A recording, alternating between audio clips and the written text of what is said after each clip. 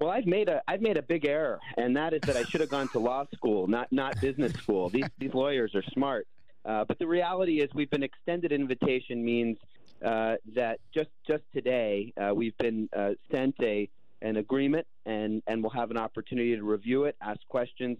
We are not alone. There are 120 minor league teams across the country that have been sent these agreements. Our our club up in Akron, uh, the Double A affiliate of the Indians, was extended an opportunity to be the Double A affiliate of the Indians, which we have been since 1997. Uh, so no change there. Uh, and so we'll take the time and go through it and understand it, ask questions, and my sense is uh, work work work together with Major League Baseball uh, to to finalize the, the, the, agreement. But but yeah, I think it's it's a safe assumption we will work this through um, and uh, and get back to playing baseball in the spring. And and so that's why we've been very careful with our language. But great question. So Ken, so when we talk about a team going from Double A to Triple A. Um, what does that really entail from your perspective, right? Like, I mean, do you have to add seating? Like, does does your, I guess, day to day, does it change at all, or do you just add another A to the thing and it's like, hey, we're AAA now? Yeah, so sports, sports, you know, sports fans will know, you know, minor league teams, depending on the level, have different levels of treatment in terms of travel, welfare, the facility, et cetera. You know, a double A team, which Jacksonville has been for many years, will travel by bus from city to city playing Southern League teams. As a triple A team, we will now fly.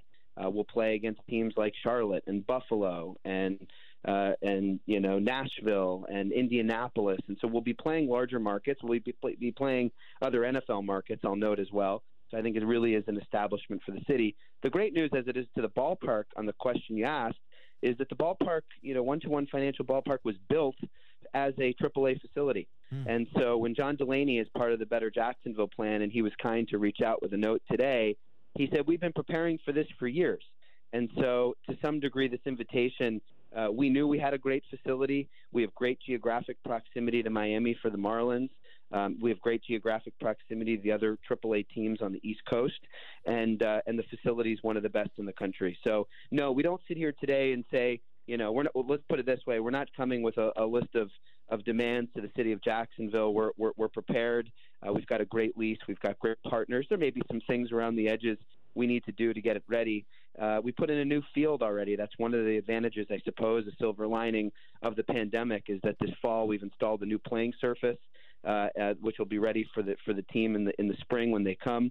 Uh, and so, yeah, we'll, we'll, be ready for baseball. But that's a, an excellent question as well. Uh, I don't want to keep you much longer. I know you got some other calls to get to. So uh, I'll just share this quick story with you. Connor Marabell, who plays in the Cleveland Indians organization, who's from the area, I chatted with him back and forth a little bit. And he said, Hey, are the Shrimp going to be in the International League? I said, Yeah. Well, that's good news for a guy like that who's in the Cleveland organization. Their AAA team's Columbus, which yeah. means they will now, he'll get a chance to come back and play home right if he's in AAA. Yeah. So uh, those kind of things are pretty cool uh, as well. Last question for you: uh, the difference of player at Double A and Triple A. Do we do we characterize this the right way? AAA guys are ready to go. You know, you don't have to develop them that much. Hey, if Miami needs a player, bam, call Jacksonville. Come on down. The Double A player, we've seen a lot of stars, future stars, be here in Jacksonville, from Clayton Kershaw to Christian Yelich to Sixto Sanchez most recently, and bam, they're going to be like headline guys. Is is that a correct way to characterize maybe AAA and AA? I think it depends on on the major league affiliate. They use the different levels differently. I think the way you've characterized it is exactly correct, which is the blue chip uh, young double A prospect stays there, kind of you know rides the bench for a little while, works their way into the game, is taking those 12, 15 hour bus rides, maybe not staying in the, the, the you know the major league level hotel, and they're and they're figuring it out. They're you know if you're a pitcher and you've got two great pitches, you're developing that that third off speed pitch so that you can get in there and get that really tough hitter out. They're they're working on things. When you get when you get to the AAA level, uh, you know you're you're a call away. You know at this point you're you're you're probably I'd say half our roster this year will be on the major league 40 man roster, or at least a quarter of it. Uh, a lot of the guys that you'll see playing in Jacksonville will have major league service time. And so that's an interesting dynamic where in double A, they're just happy to be there, right? They're excited to be playing professional baseball. We're going to have a lot of guys now that think, hey, it's nice being in Jacksonville, but I'm supposed to be in Miami. I'm supposed to be, you know, p- playing against the Atlanta Braves and playing against the Mets. And so, um, you know, I think tri- AAA will provide an opportunity for us to see a higher caliber of baseball both from our own team and then opponents. Uh, but uh, it's going it's it'll it'll be a terrific opportunity for us, and it, and it, it, I'll come back to this because I think it is really important to mention again. Jacksonville's the 12th largest city in the United States. People are amazed when I say that, and you go back and you look at our population growth after the last 10 years. You know, if you're from Jacksonville, which I am not, but I've spent a good portion of the last five years of my life understanding the market, learning it. You guys have welcomed me and, and our team.